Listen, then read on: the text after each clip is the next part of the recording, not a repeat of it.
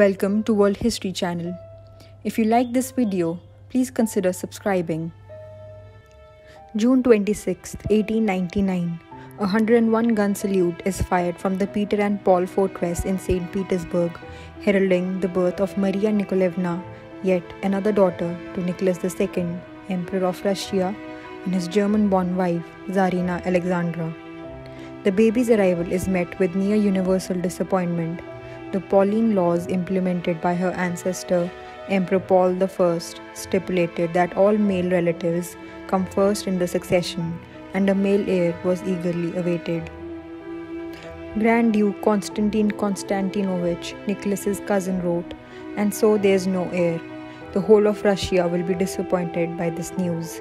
Victoria, Queen of the United Kingdom, Alexandra's grandmother and Maria's great grandmother wrote, I regret the third girl for the country. I know that an heir would be more welcome than a daughter. Nicholas insisted that he was happy with Maria's birth, and he told Alexandra, I dare complain the least, having such happiness on earth, having a treasure like you, my beloved Alex, and already the three little cherubs. Maria and her younger sister, Anastasia, were known within the family as the little pair. The two girls shared a room, often wore variations of the same dress, and spent much of their time together. Their older sisters, Olga and Tatiana, also shared a room and were known as the Big Pair. Young Maria enjoyed innocent flirtations with young soldiers she encountered at the palace and on family holidays. One day, the little Grand Duchess was looking out of the window at a regiment of soldiers marching past and exclaimed, Oh, I love these dear soldiers. I should like to kiss them all. Until his own assassination in 1979, her first cousin Louis Mountbatten, 1st Earl Mountbatten of Burma, kept a photograph of Maria beside his bed in memory of the crush she had upon her. In 1910, Louis met the Romanov sisters. He later reflected that they were lovely and terribly sweet, far more beautiful than their photographs and he said that I was crackers about Maria and was determined to marry her. She was absolutely lovely. Maria was a noted beauty. She had light brown hair and large blue eyes that were known in the family as Maria Saucers. Maria, Duchess of Saxe Coburg and Gotha, Maria's great aunt, declared that Maria was a real beauty with enormous blue eyes. Her mother's friend, Lili Dehn, wrote that she, was exceedingly fair, dowered with the classical beauty of the Romanovs. A gentleman at the imperial court said that the infant Maria had the face of one of Botticelli's angels.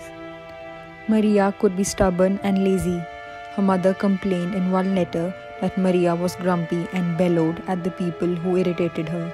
Maria's moodiness coincided with her menstrual period, which the Tsarina and her daughters referred to as a visit from Madame Becker. Maria had a kind, sweet personality. Grand Duke Vladimir Alexandrovich of Russia nicknamed her the amiable baby because of her good nature. Her reputation for goodness was such that it was rather surprising when Maria stole some biscuits at tea time. Her governess and the empress thought she should be sent to bed, but the emperor disagreed, saying that he was always afraid of the wings growing. I am glad to see she is only a human child.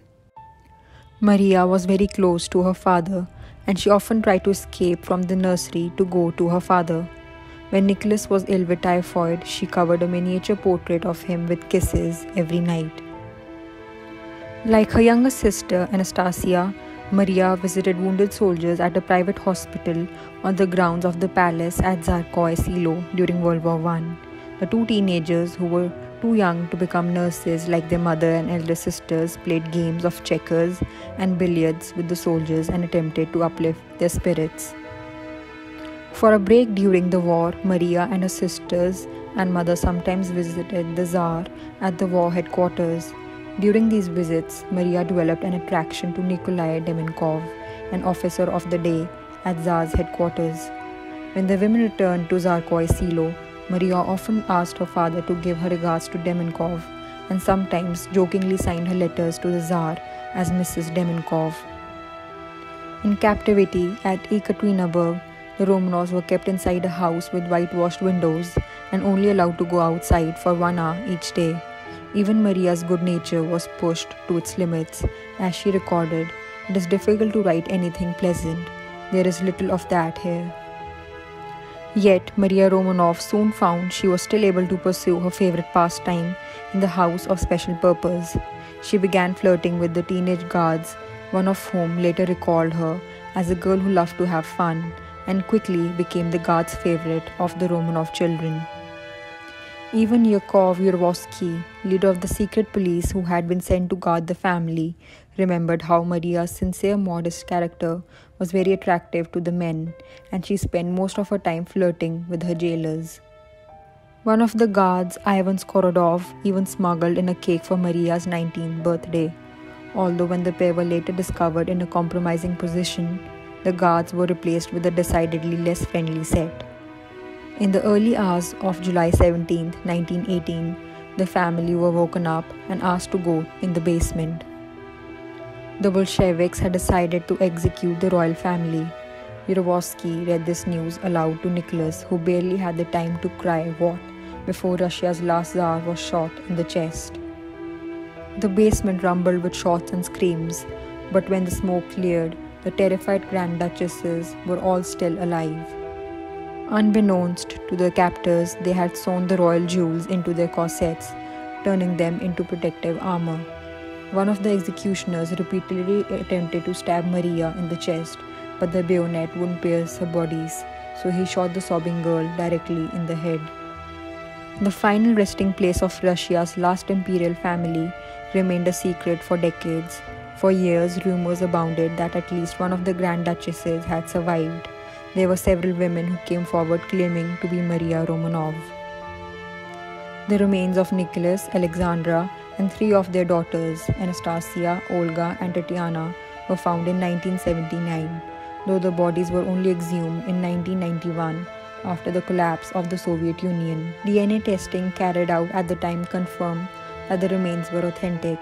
Initial searches of the area in subsequent years failed to turn up a cremation site or the remains of the two missing Romanov children, Alexei and Maria. A state funeral was held in 1998, and two years later, the family was canonized by Russian Orthodox Church. In 2007, bones belonging to Alexei and his sister Maria were finally discovered. DNA testing confirmed their identity the following year, but the church contested the findings and prevented funerals from being held. Maria and Alexei's remains have been kept in the state archives and to this day have not been reunited with the rest of their family.